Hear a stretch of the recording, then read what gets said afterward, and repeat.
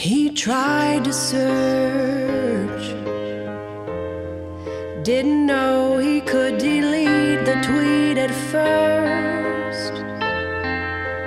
Got retweeted around the earth Ed Balls Day, the holiday we all deserve.